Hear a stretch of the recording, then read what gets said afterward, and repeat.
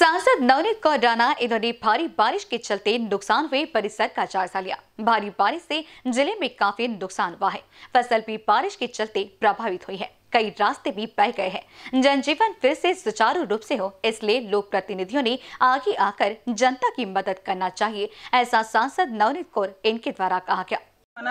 की हा दोन तीन काम आमचे गावाचे झाले तर बाकी काहीच लोकप्रतिनिधींना मागत नाही. कारण कोणाची जीवापेक्षा जास्त महत्वाचं कोणताही रोड नाली नाही. म्हणून हे पूल आपला झाला पाहिजे. त्याच्यासाठी मी यांच्यासोबत जेही पाठपुरावा लागत असेल तर मी नक्की करणार आहे.